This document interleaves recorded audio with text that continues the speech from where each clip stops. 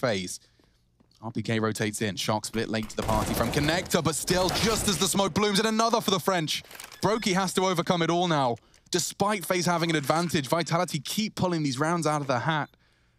Another clutch scenario presented. Rain failed. Can broky do one better? They're both coming from Kitchen. He may not be anticipating this. And now, unfortunately, RPK's on the hunt.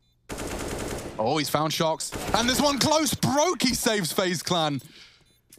Seven for him. Triple kill in the round. That is the first on the board for FaZe's map pick. They needed that.